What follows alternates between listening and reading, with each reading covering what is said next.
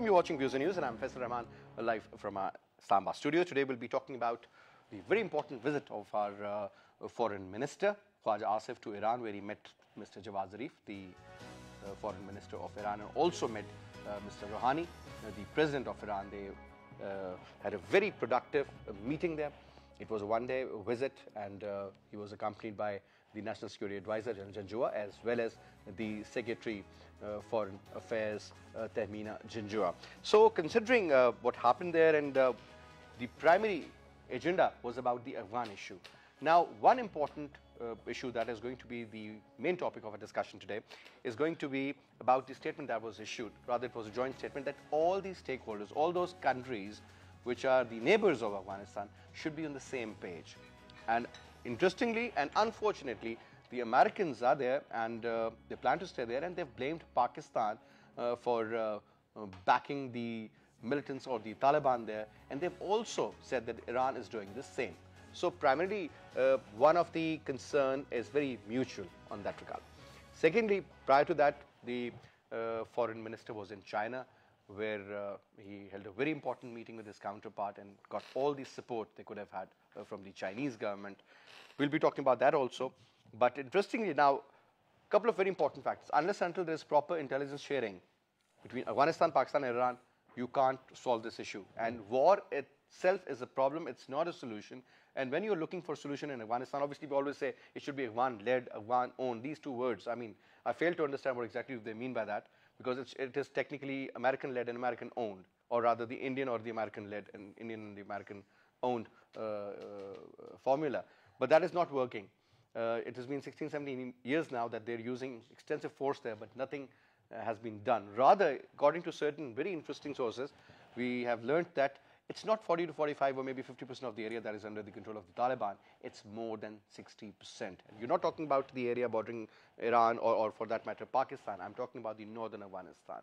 So that is of prime concern also. We'll be talking about that. Let me introduce you to our uh, uh, panelists. We have with us on my right is AVM retired uh, Bhatti Saab, a very known defense analyst. Sir. Thank you very much. We also have with us uh, Ambassador Kiani Saab. Sir, thank you very much. And we have with us Professor uh, Aqab Malik. Thank you very much, Dr. Saab, for being here. First of all, Bhatti Saab, uh, since um, it was understood, if you remember, Ms. Wells was supposed to come to Pakistan and then uh, we asked her to delay uh, the visit because uh, A, the chief wasn't here, the PM wasn't here as well. The interesting part was that uh, later on it was decided by the Foreign Office that the uh, new foreign minister is going to visit China, he's also going to visit Iran, and most likely he's going to visit Moscow also. And this could be the third important visit. Uh, obviously, when you talk about the current position, obviously a lot of blame by the Americans in particular, uh, they're putting that on Pakistan, A. For their failure, they're blaming Pakistan.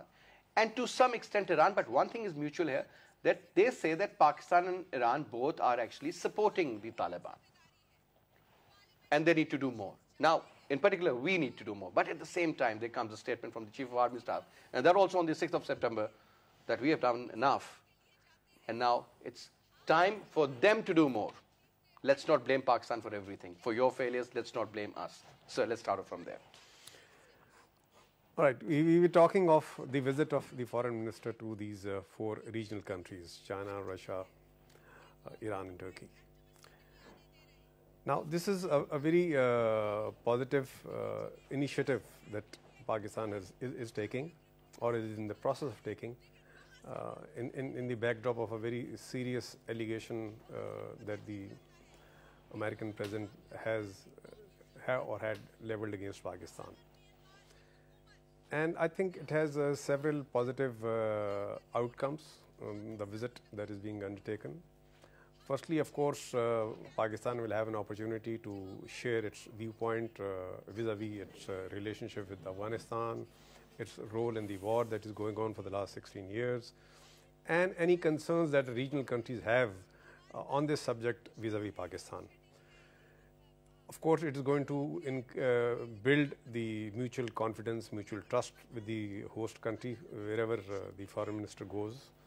Besides, of course, uh, sharing of the concerns uh, of Pakistan, the interests of Pakistan, and alleviating any concerns that the host country might have. And at the end of the day, after having visited all these four countries, Pakistan would be able to come up with a very uh, wholesome, uh, very acceptable, and a very effective kind of a policy and a response vis-a-vis. So when you say effective and acceptable, would you like to please throw light on this particular? Because you see, uh, uh, the stakeholders are the regional countries because they are they're bordering Afghanistan.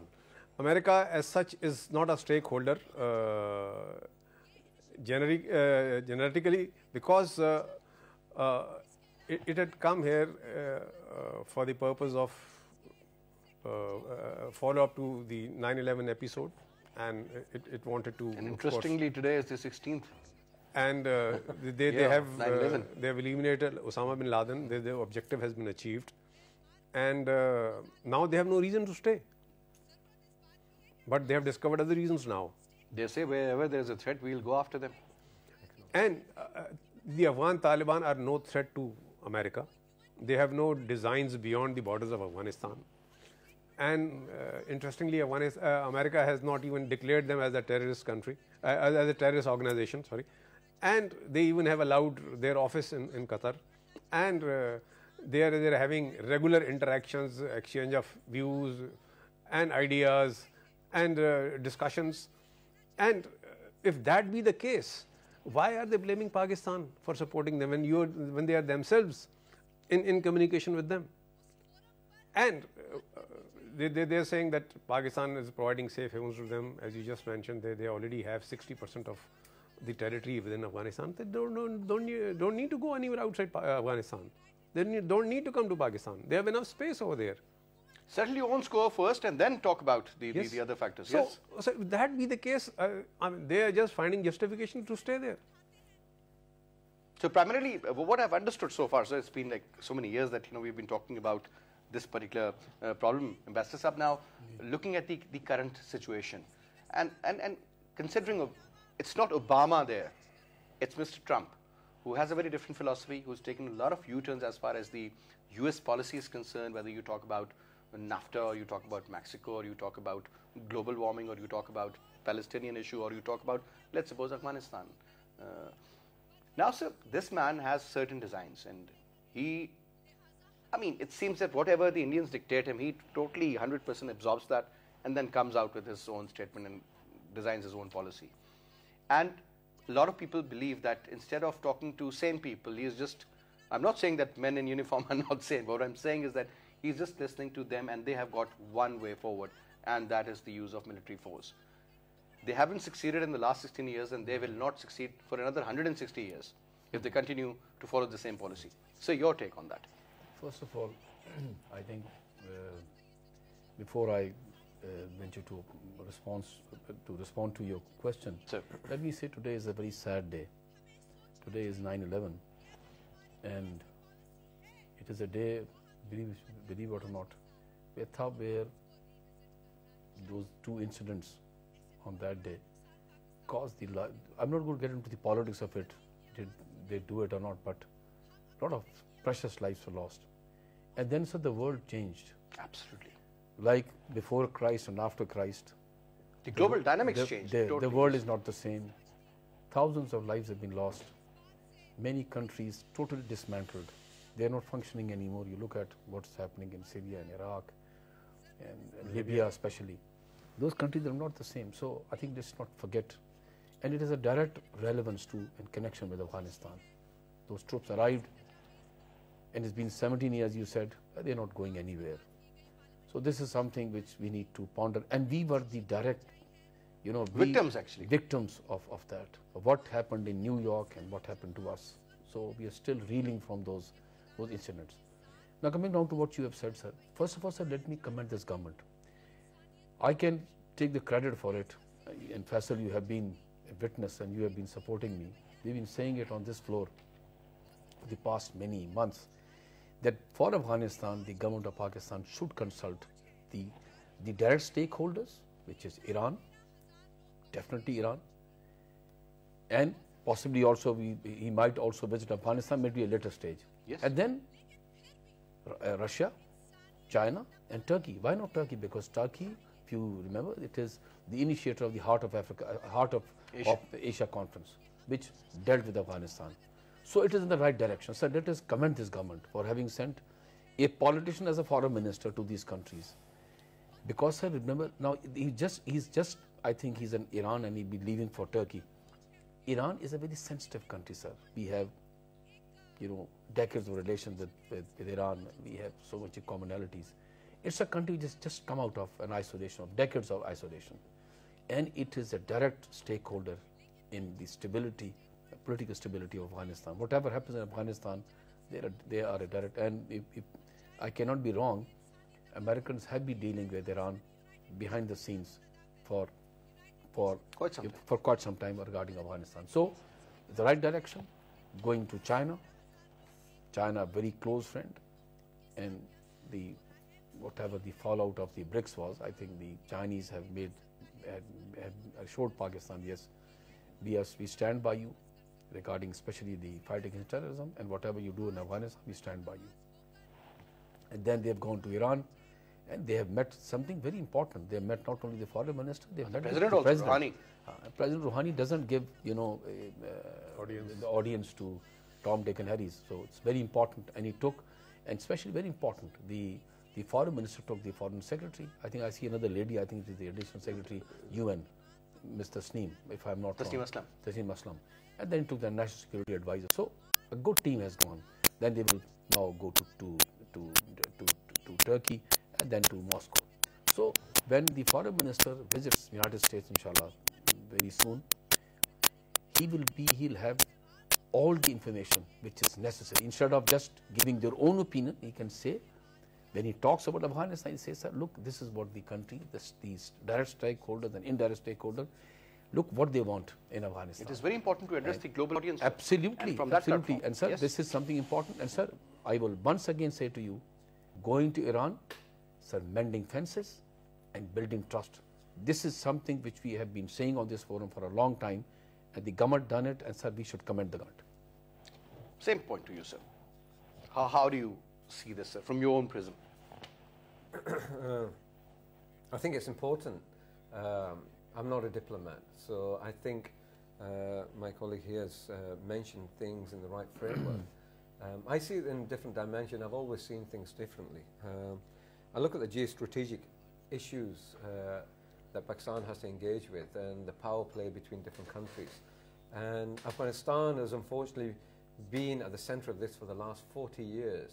Um, a play of power between the US and the Soviet Union, for example, and then unfortunately it denigrated into a civil war and a wretched condition within its own country until, uh, and which, which was a, a proxy war for neighboring states and other states outside, uh, which didn't allow it to come out of its own problems. And Pakistan has been at the center of this also because we, we were helping defend uh, our from our perspective, uh, Afghan freedom when the Soviets invaded, and then afterwards. So we're, we're, we're directly involved from the beginning, and we do have a stake in this. And without us, there is no peace, and I can guarantee that.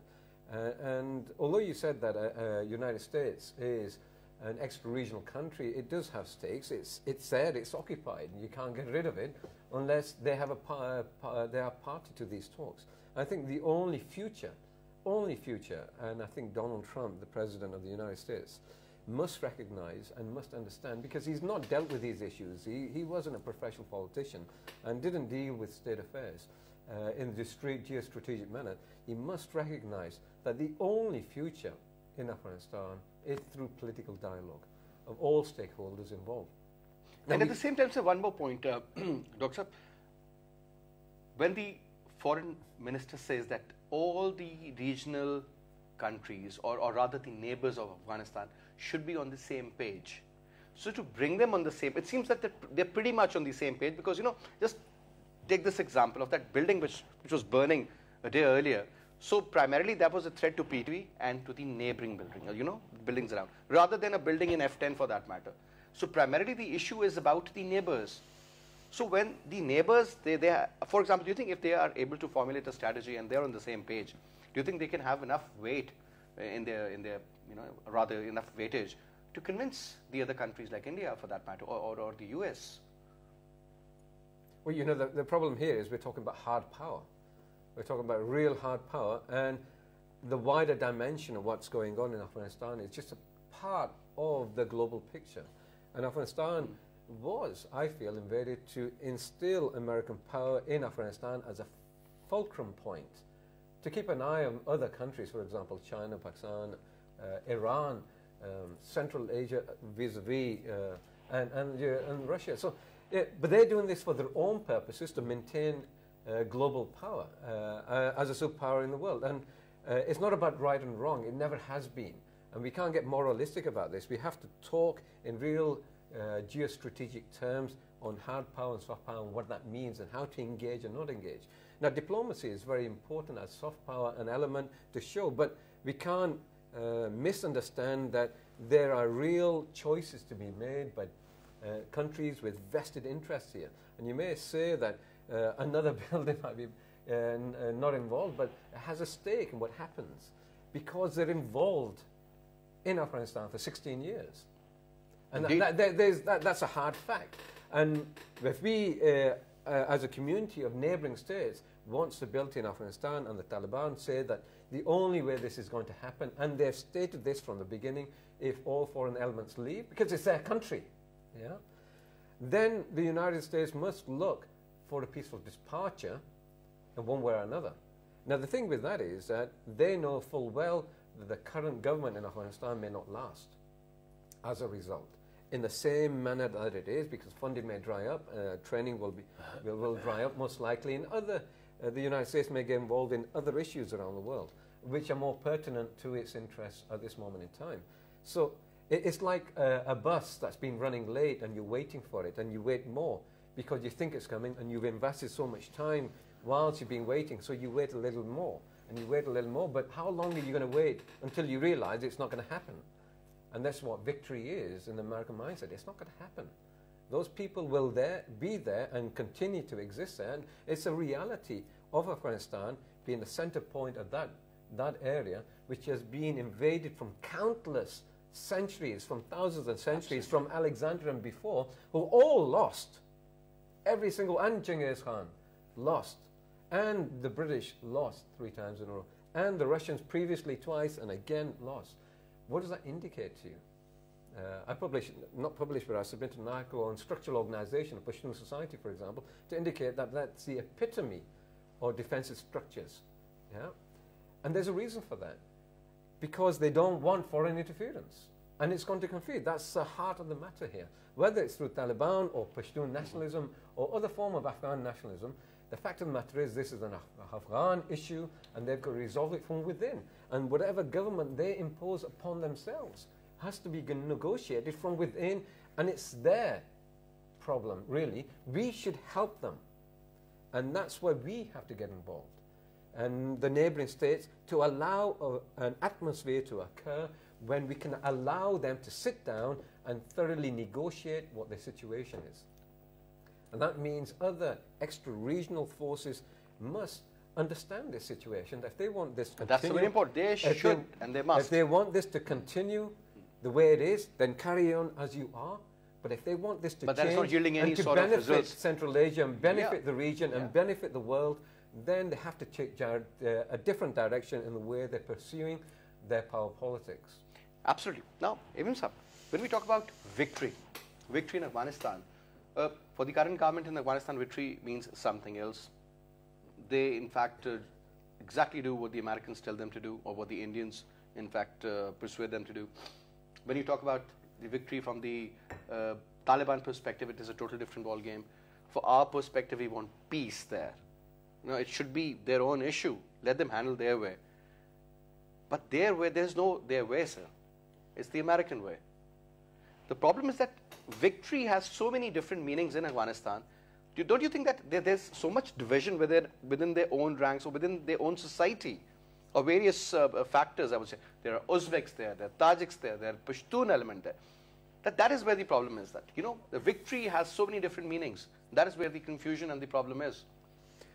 See, Afghans have been living as a nation for the last several hundred years. And uh, before 1979, Afghanistan was one country. They were living uh, peacefully and it's only when the Russian invasion took place, subsequently the Americans came in, the jihad, so called, that uh, got launched for 10 years, that went on. And ever since, until today, Afghanistan has not had peace. And uh, it would be incorrect to say that uh, they are used to this kind of life and they, they don't mind living the way they are living. They, they would definitely want peace. They would like to live a settled, stabilized, secure life. This is the 21st century, sir.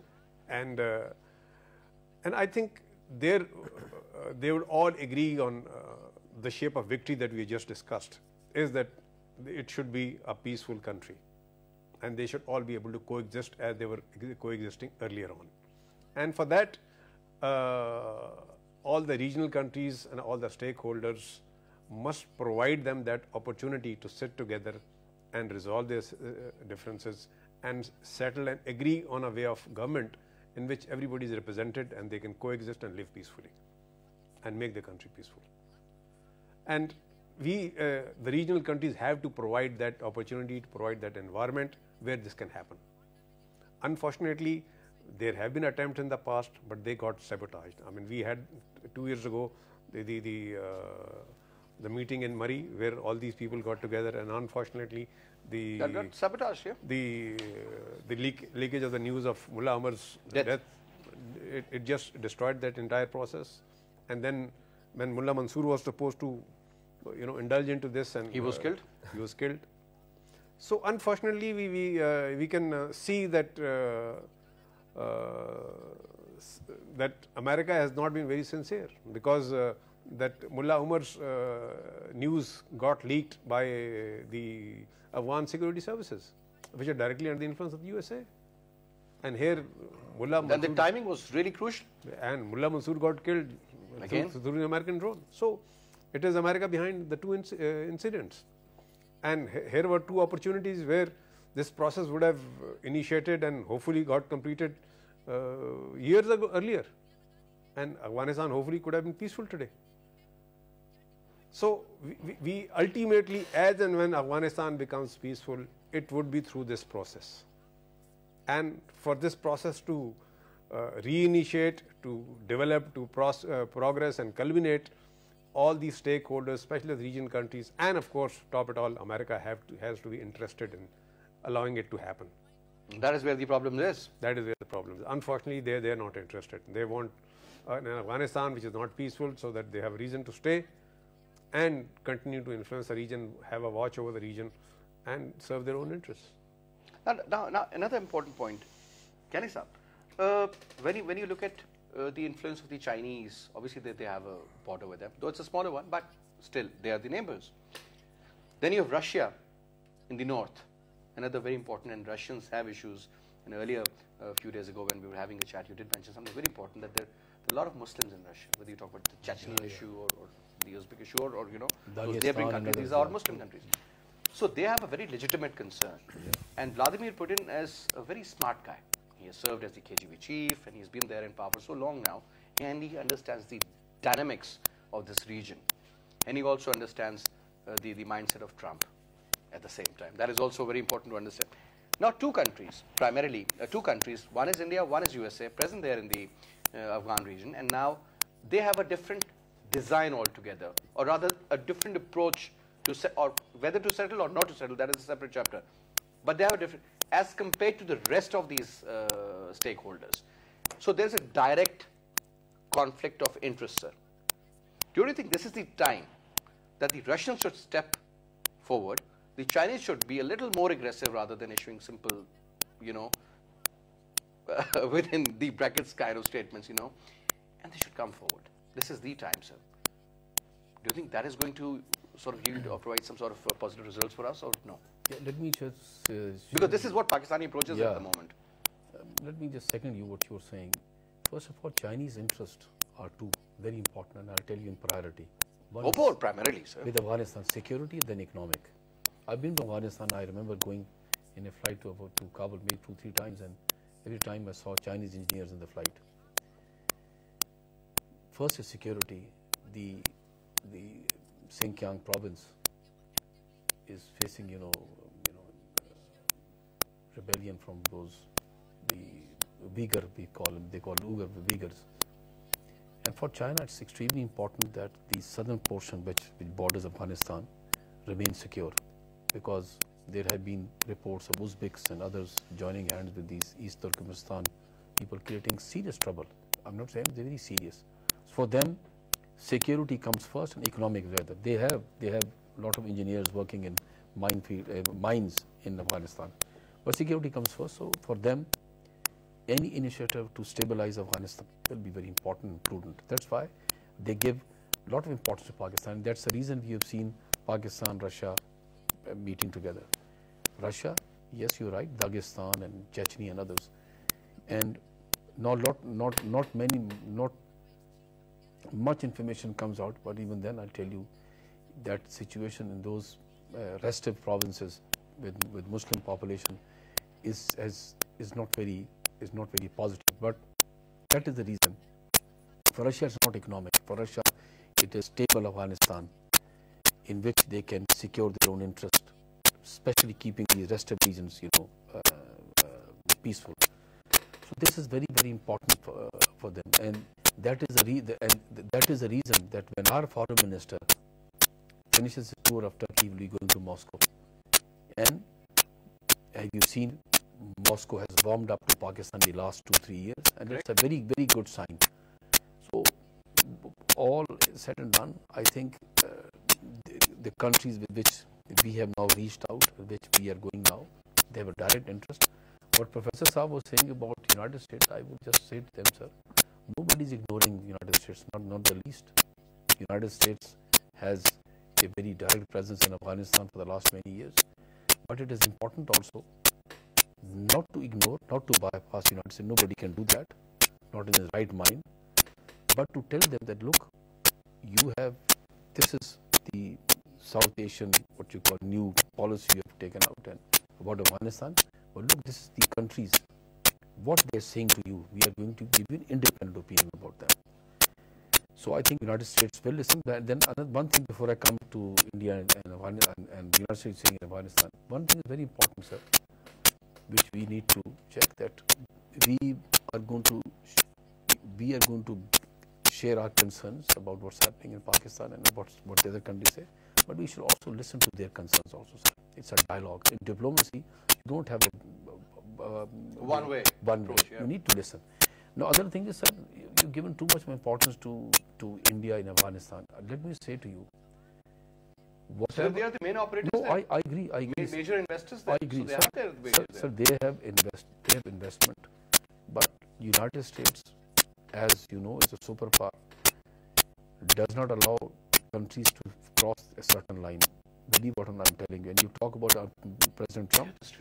Sir, they are Sir, I tell you, it is most unpredictable, unpredictable man. It's a strategic partner, yes. But do you think the United States will allow Afghanistan, India to cross a certain line in Afghanistan? Not the least.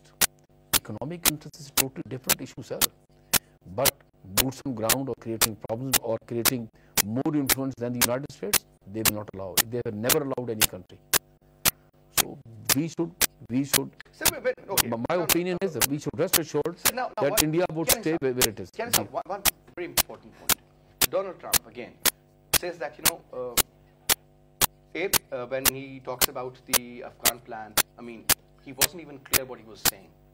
He had no clue what he was talking about, and he said, "Well, you know, I have a plan, but it's a hidden agenda, and I'm going to give you a surprise." I mean, come on, you're the president of the United States of America, sir. I mean, what sort of a plan do you have? And even the the Democrats, I mean, gave him hell for that. Like, and they said that he has no planning; he's just, you know, uh, saying for the heck of it. Now, when you talk about the Afghan policy, the person in charge is Ms. Wells, who is the acting assistant secretary of not only AfPak, Central Asia, Afghanistan, Pakistan, and South Asia. Yeah, yeah, yeah. So, and that also an acting assistant. So, what is that supposed to mean? And for the first time, I think in the history of Pakistan, we've been able to say no to somebody. and this is sort of weightage we have given So to her. this is this is sir. We, What is we- that supposed to sir, mean? The thing is, there is a reason.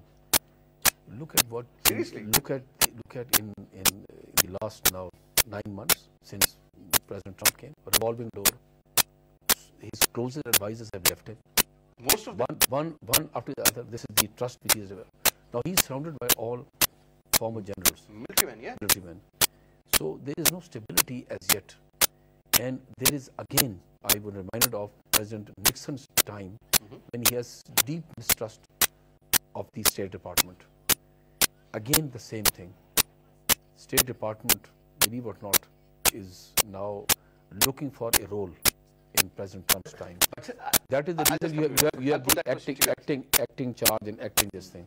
This can happen in third world countries because these are issues of governance. How can you have an important, you know, you they look, they sit in Most important Sir, institution. Sir, they, they sit in Camp David, a very fine place to think, and they come out. Where is the input of the State Department? Do you see any input? you just have boots on grounds or beat this thing, beat thing. State Department never never acts like that, sir, because it is the repository of diplomacy. They are the ones who reach out to the 24/7. And they have a very wise approach. Absolutely. It's not the bomb which Yeah. matters So- all the time. Yeah, Yeah. But, but Professor, I'll just give you one example and I'll take this same debate forward. I was going through an article a few weeks ago and something very interesting came out. That was the kind of, you know, whenever you allocate a certain amount of budget, you know, for example, if your defense spending is certainly, you know, uh, increased by 50%, you understand that, you know, this is what the government is thinking. Or uh, uh, the other hand, let's suppose the development funds uh, for building uh, infrastructure or whatever, you increase that. That means that the government is looking uh, in another direction. Now, when you look at the kind of money allocated to Pentagon versus the State Department, Pentagon is getting 10 times more, and that is around 650 B4 billion dollars. Sir, what is that supposed to mean? Well, you know, uh, let's go back to the basics here. It's like a basic class. So practically, they're, they're, they're looking I, at I was just teaching global uh, strategic policy of global powers just before I came here on an MPhil level. When Trump came in, a lot of things changed. He reduced the budget. Was it about 40% of the State Department? And now his cabinet has more generals than it ever had since the Civil War in the United States. Uh, so that's saying some things. After 150 years, you've got so much. What the influence is going to be. I think more than anything else is a statement of fact. The fact is that over the last couple of decades, especially the decade and a half in Iraq and Afghanistan and other countries, the failures of military failures, for example, and as a consequence, the diminishing of American prestige and influence around the world, they want this to stop. And they want this to stop only because they, they think, not realize, they think that handshaking has caused this. It's a perceptional issue here. In a more aggressive White House, mm-hmm. more aggressive administration that wants to show teeth. You pull the handshakers back, you let the dogs out. To show we're not willing to take any more. If you can't take it seriously because we were benevolent, mm-hmm. we're trying to shake hands, we're trying to build something up, and you don't understand liberalism because that's what happened after the end of the Cold War and everybody became more liberal until 9 11, for example, 16 years ago, and they became more realist in the approach. But however, they, that continued with the State Department. Now they're trying to say that if you're not going to take account of this and not going to take account of that we're still running the world and we've been nice and easy and happy with you, well, now we can take a more aggressive posture. Uh, and this is how things happen. You reassess, you think that um, things are not working, and they've not been working as far as American prestige is concerned over the last few years, last decade and a half especially, and how things have gone wrong fundamentally around the world for their interests, and how China has outmaneuvered them in a way and circumvented them, especially in, in Latin America and Africa, because of the wars America's been involved in, and gain uh, uh, a certain upper hand as far as resources are concerned to build their engine of power and to rise up further. Now they want to change that, and they find it's more a reaction than anything else. And bringing more military into the cabinet would indicate, therefore, they're going to have a more realist approach to what's going on, a more offensive, real, realist approach. Uh, and this is what I feel. And what does that mean? That means they're going to be able to push, I want to push the boundaries a little bit more. And the aggressive, aggressive uh, stance that they have is going to be more pronounced as the days go by. And this is not out of coincidence. When you've got so many generals, the influence factor is going to be different. Influence is going, uh, is going to be more military industrial capacity, mm-hmm. more military industrial interests, and what their interests are going to be more profound and lined, linked up to, to American policy. Because they're the policymakers now. And that's going to change the direction where America wants to stand itself because it feels that it's slipping from global power and it doesn't want to do so. And it sees a threat from other countries, specifically China, who doesn't want to be a threat right now because it's not ready to be so. So I think it's to foment or to preempt any future threat and stamp out a position for a more prolonged period in global power. However long that lasts, nobody can predict.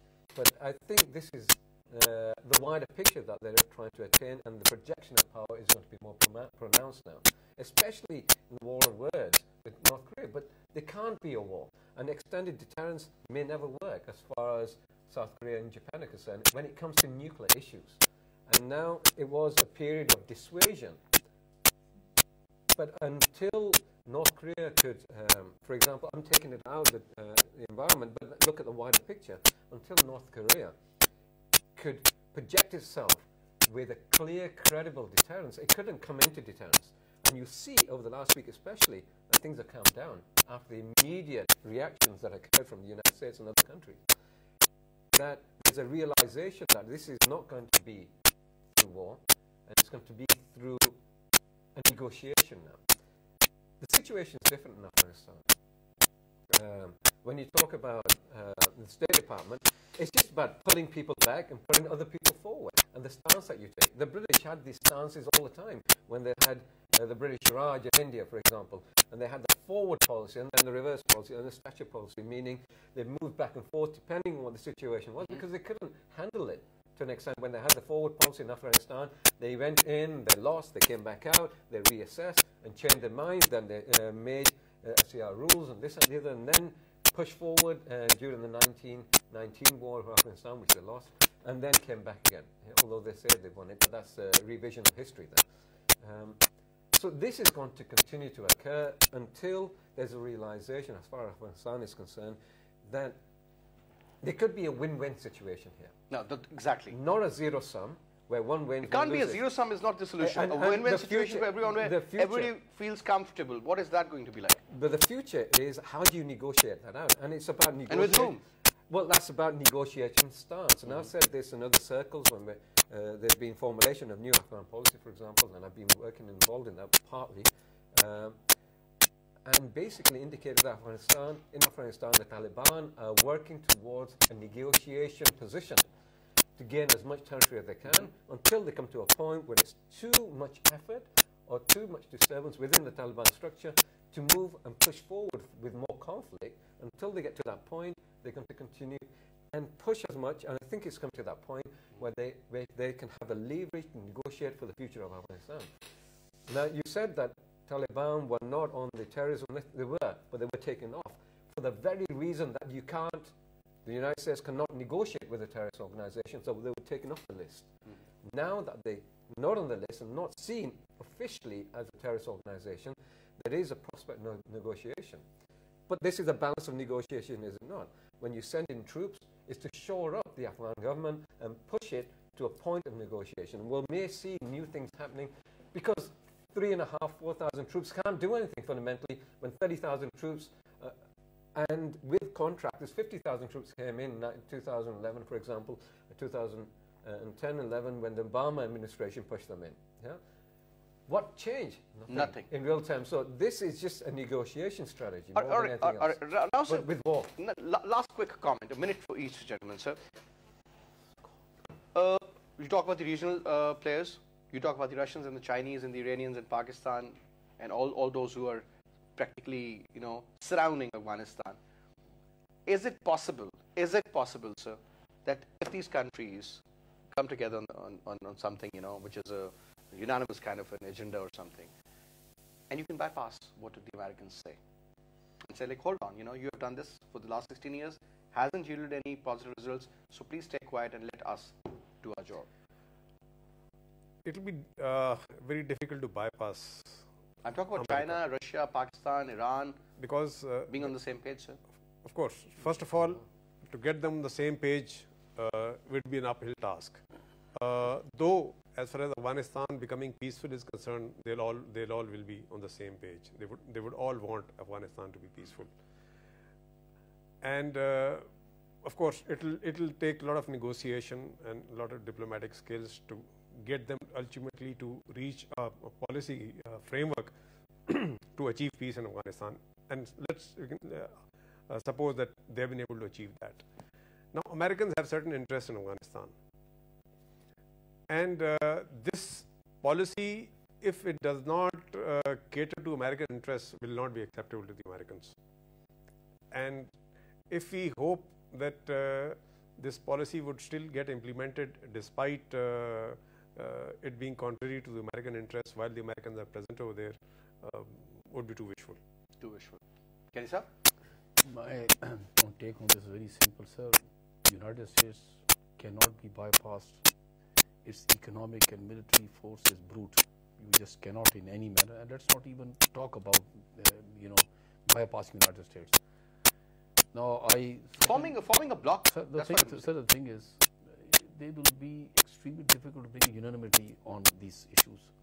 But if if certain certain you know uh, parameters are drawn, and these countries agree on maybe two three issues like you know bringing political stability of Afghanistan, economic vibrancy, return of the Afghan refugees back, and allowing Negotiations with the Taliban. allowing inside the other stakeholders because sir, basically people forget it's a, there's a civil war going on in Afghanistan. If these countries can support and become in a manner neutral, not taking any sides, I think that sent the right signal. Maybe the Americans will be able to understand. But sir, in no manner, believe it or not, in history, in the entire history thousands of years, no country is so powerful economically, militarily as the United States is now. I can debate with any historian on this thing. So on that issue, sir, I think let's not even think about bypassing, but it's better to have a dialogue with the United States. Well, I think it's, it's, that, that's important uh, to recognise it, but I also think that when you mention block, I don't think it's a block per se, but I think it's a mutual understanding between particular countries. or maybe common interests. common interests and mutual understanding, a shared interest within Afghanistan to form a certain amount of peace. So it, uh, it facilitates uh, uh, burgeoning trade, for example, in the future. However, I think also that uh, it's not about bypassing, it's about having a common picture. So you pressure, you have greater pressure on the United States to accept certain interests of other countries rather than its own interests. Just a negotiating position. This is negotiations just done through war and conflict. But now we must recognize that other people are suffering for 40 years because of these negotiations. For whatever the reason may have been for intervention or not, now it does come to a conclusion. And the conclusion must be done politically. It can only be done politically. It can't be done through force. That's recognized. And what it is, is Pakistan's, and I hope this is their idea, that they foment a particular understanding between these different countries. And when the United States wants to sit down, that they're on a mutual platform and negotiate with the United States about their exit. I think that's the way forward. That's the only way forward. All right. Thank you very much, Tim Sab. Thank you. Ken Sab and Professor. It's a pleasure having you all. And that's all we have uh, uh, for this hour. I'll see you tomorrow at 8. Till then, you take good care of yourself. Khuda Hafiz.